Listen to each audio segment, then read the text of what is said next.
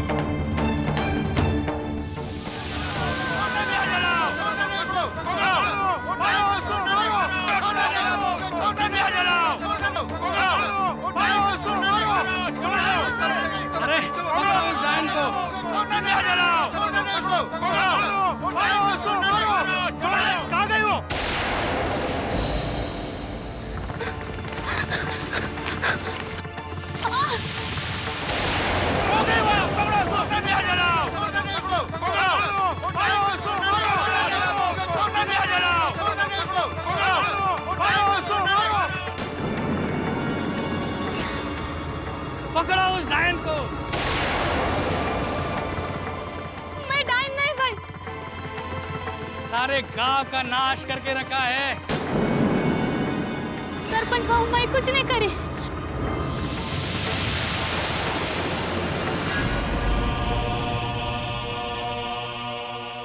मैं तो आप लोग के गाँव की आप लोग पहचान गए मेरे को।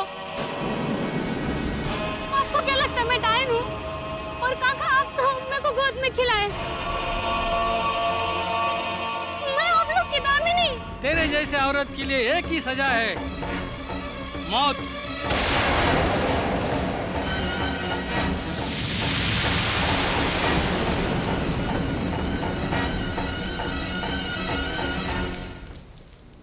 सर, दामिनी सरोज की हत्या से एक बार फिर ये बात साबित हो गई है कि आज के समाज में भी महिलाएँ सुरक्षित नहीं हैं। इससे ये सवाल खड़ा होता है कि क्या हम सच में एक आधुनिक समाज में जी रहे हैं एक तरफ़ लड़कियाँ अंतरिक्ष की सैर कर रही हैं, हिमालय पर चढ़कर झंडा फहरा रही हैं। डॉक्टर्स इंजीनियर्स ऑफिसर्स बन रही हैं। वहीं दूसरी तरफ़ इतनी क्रूर और अमानवीय घटना घटती है, जिसे सुनकर रोंगटे खड़े हो जाएँ। दिल्ली, मुंबई की सड़कें हों, या फिर छोटे छोटे गाँव की पगडंडियाँ, महिलाएँ कहीं सुरक्षित नहीं।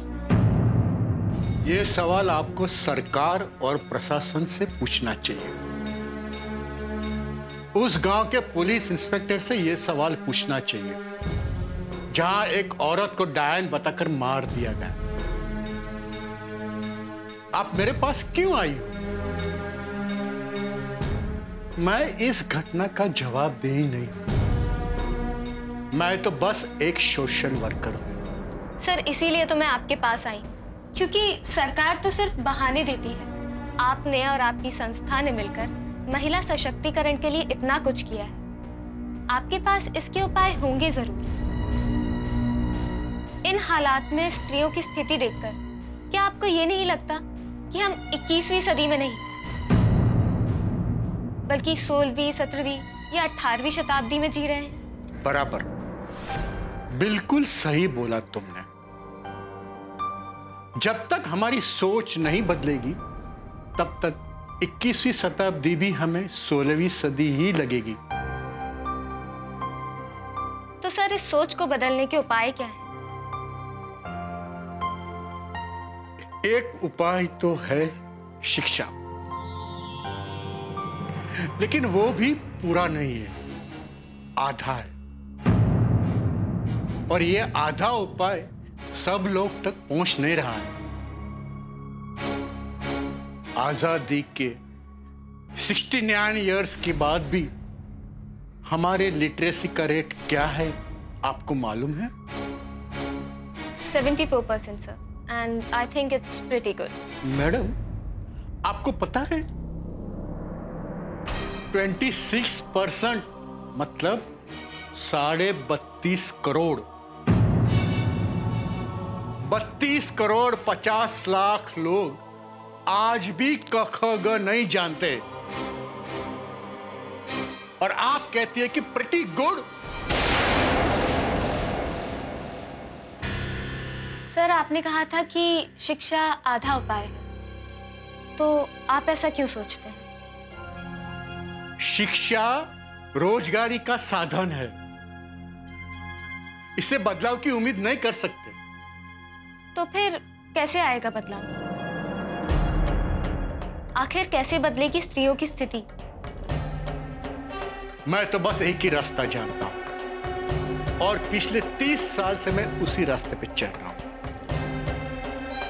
The way of Savitri Bai Phule स्त्रियों, उठो, जागो, शिक्षित बनो। और परंपरा की बेड़ियों को तोड़ो। खुद को मुक्त करो। यही रास्ता बताया था सावित्री बाई फूले ने। यही समाधान है। वाओ दैट्स रियली ग्रेट कौन है ये सावित्री बाई फूले? क्या ये आपकी तरह एनजीओ चलाती हैं? आप सावित्री बाई फूले को नहीं जानती हो? और आप यहाँ स्त्री मुक्ति और सम्मान की बात कर रही हो। और आप क्रांति ज्योति सावित्री बाई फूले को नहीं जानती हो? एक पत्रकार। वो भी महिला पत्रकार। और सावित्री बाई फूले को नहीं जानती हो। Sir I am really sorry but you should be क्योंकि सावित्री बाई फुले को न जानने का मतलब है अपने आए बाबा को न जानना। सावित्री बाई फुले का अर्थ नहीं जानना मतलब अपने आप को नहीं जानना। आप मुझसे पूछ रही हैं सावित्री बाई फुले कौन है? एनजीओ चलाती है? यू मे गो मुझे आपसे कुछ बात नहीं करना।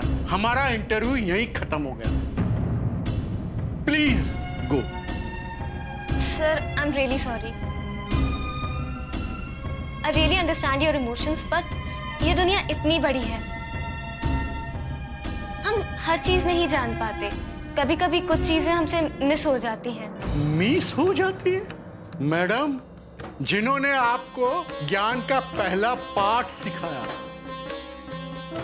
ये जो आप माइक साइक लेके अंग्रेज़ी झाड़ रही है ना, ये भी सावित्री बाई फुले की वजह से। सिर्फ़ आप ही नहीं हमारे देश की तमाम लड़कियाँ आज जो तरक्की कर रही है, आज जो अधिकार प्राप्त कर रही है, वो भी सिर्फ़ सावित्री बाई फुले की वजह से। और आप कुछ इंपॉर्टेंट चीज़ की तरह सावित्री बाई फुले को न जानना एक सामान्य बात समझती है? मिस काव्या, अगर आपको स्त्री के बारे में इतना ही कुछ करना है सबसे पहले जानने की कोशिश करी कि क्रांति ज्योति सावित्री बाई फुले कौन है।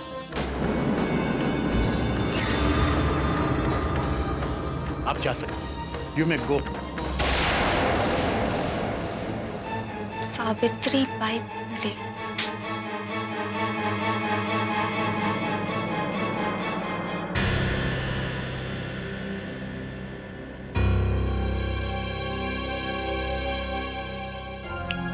Hello are you okay I am so sorry ma'am मेरी वजह से आपका इंटरव्यू खराब हो गया। So sorry it's okay Bhaskar ji बहुत इमोशनल इंसान है। मैं देख लूँगी यार। मैम क्या आप सावित्री बाई फूले को जानती हैं? ओ कम ऑन बेबी नहीं मैं भी नहीं जानती हूँ। और आज की डेट में फेसबुक व्हाट्सएप के जमाने में कौन ये सब के बारे में डिस्कस करता है? Please forget it Kavya Manjula एक पुराने ख्यालत का आदमी है। अरे, उसकी सोच हमारी सोच से कोसों दूर है यार। वो खुद एक पत्रकार रह चुका है और आज का जर्नलिज्म काफ़ी एडवांस हो चुका है। हाँ मे बी और राइट पर पता नहीं क्यों मुझे ऐसा लग रहा है कि मुझे सावित्रीबाई फुले के बारे में जानना चाहिए। प्लीज़ जान के क्या करेगी यार? इट्स नो यूज़ मैम मैं तो कहती हूँ ना इसे एक ब्रेक की ज़रूरत है। प्लीज़ इसे ना एक ब्रेक दे ही दीजिए। आई थिंक मुझे भी लगता है तुमको एक ब्रेक की ज़रूरत है। और वैसे भी कल सुबह हम लोगों को गोवा निकलना है। तुम लोगों को गोवा इवेंट कवर करना है। ठीक है? गॉट इट और हाँ बेबी प्लीज़ भास्कर और सावित्रीबाई फुले से थोड़ा बाहर आओ and concentrate on your work please या। कम ऑन काव्या चल यार। अरे अब तो अपना मूड सही कर। कम ऑन हमें गोवा के लिए निकलना है यार। ओके ओके फाइन अब मैं सावित्री बाई फुले के बारे में नहीं सोचूँगी okay Now, that's like a good girl.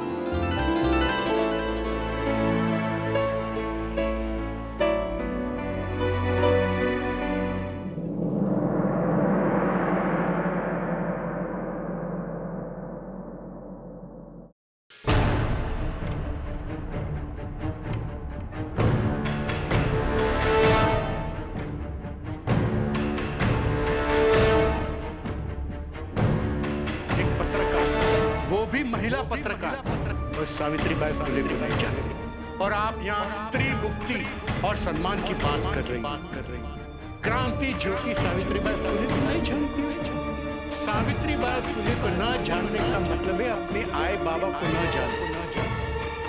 Savitri Bai फुले का अर्थ नहीं जानना मतलब अपने आप को नहीं जानना। जिन्होंने आपको ज्ञान का पहला पाठ सिखा, सबसे पहले जानने की कोशिश करी कि क्रांति ज्योति सावित्रीबाई फुले कौन है कौन है?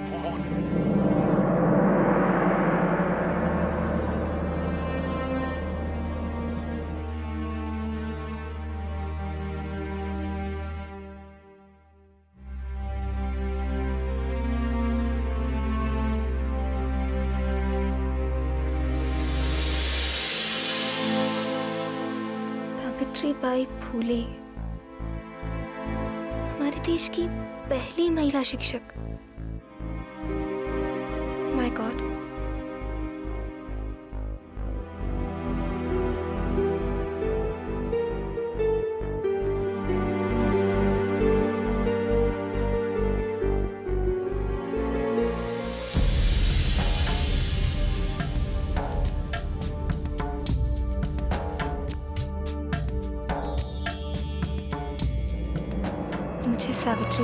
के बारे में और जानना होगा।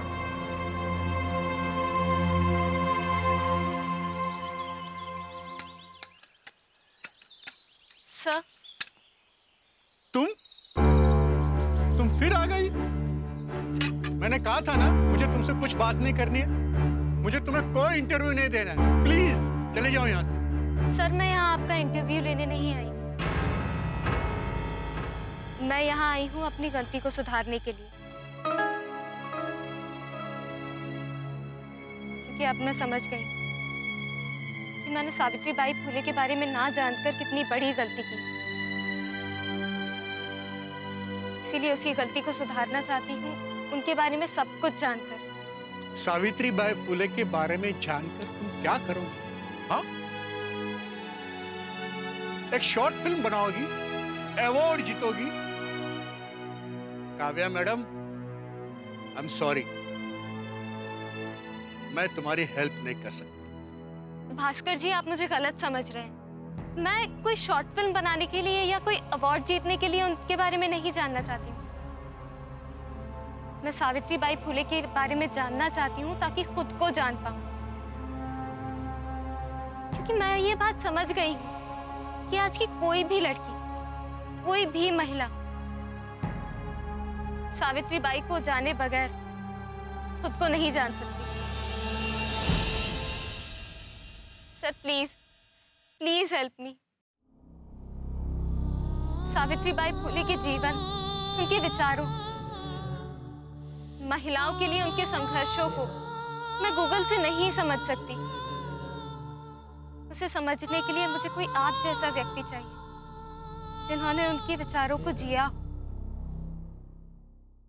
काव्या जी, मुझे ऐसा लग रहा है कि तुम्हें सचमुच सावित्रीबाई फुले के बारे में जानना चाहती हो। ठीक है, मैं तुम्हारी हेल्प करूँगा। तुमने ठीक कहा। सावित्रीबाई फुले के बारे में वही व्यक्ति बता सकते हैं जिन्होंने सावित्रीबाई फुले का विचार को जिया। मैं एक ऐसे व्यक्ति को जानता हूँ जो सावित्री बाई फुले का सच्चा अनुयायी है। कौन है वो? प्रोफेसर नामदेव पाटिल। मैं उनसे कहाँ मिल सकती सतारा ज़िले के पास एक छोटा सा गाँव है। उड़ाल नाम वो वहीं रहते हैं और तुम्हें वहीं मिलेंगे। सतारा डिस्ट्रिक्ट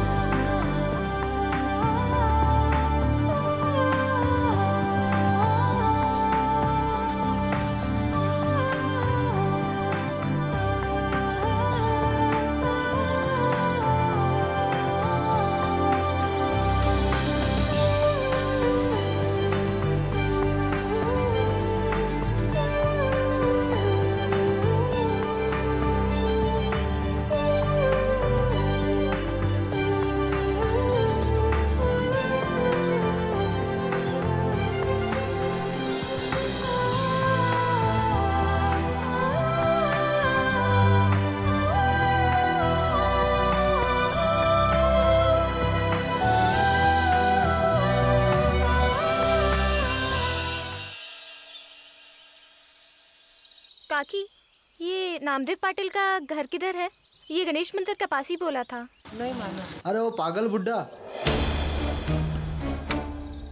पागल बुढ़ा हाँ।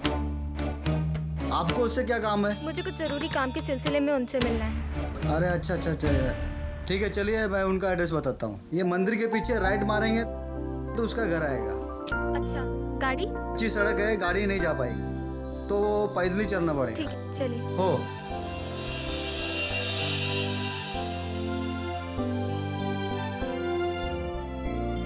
जरा मैडम संभाल के आइएगा कच्चा रास्ता है। हाँ हाँ हाँ। जरा मैडम एक बात बताइए बम्बई शहर से उस पागल बुड्ढे से मिलने आए हैं?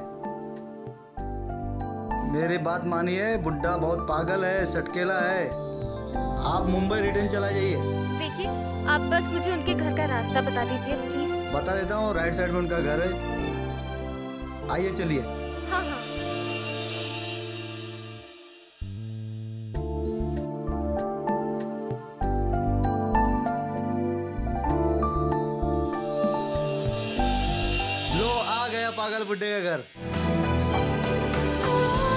बुड्ढे का घर थैंक यू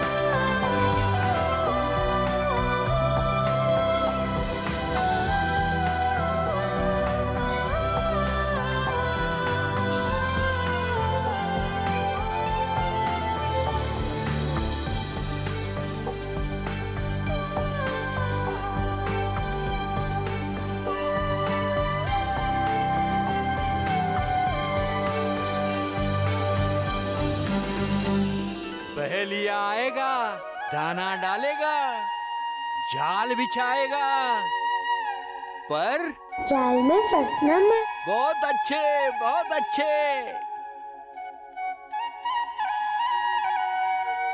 याद है ना तुम्हें? सावित्री बाई ने क्या कहा है? स्त्रियों उठो शिक्षित बनो जागो। मास्टर जी मैं खेलने जाऊँ? हाँ हाँ जाओ। लेकिन कल कल वक्त पे आना। जाओ तुम जाओ। हैं।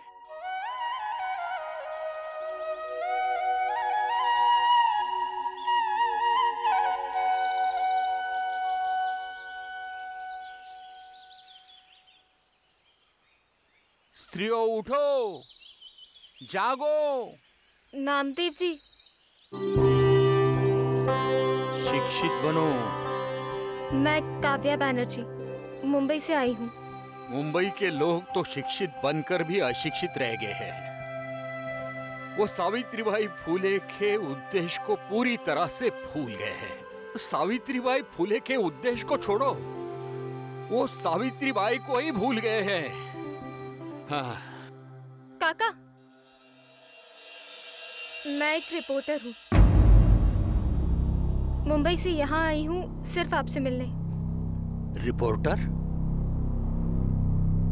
ना यहाँ कोई दंगा हुआ है ना फसाद। और ना ही कोई इलेक्शन है गाँव में। तो किस बात की रिपोर्टिंग करने आई हो? जाओ। कोई और गाँव ढूंढ लो। काका मैं आपसे सावित्रीबाई फूले के बारे में जानना चाहती हूँ।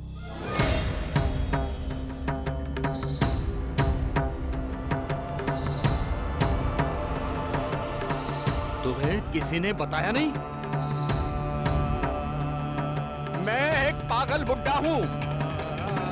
मैं सावित्रीबाई फूले के बारे में कुछ नहीं जानता। कुछ नहीं जानता मैं। चलिए जाओ चले जाओ यहाँ से।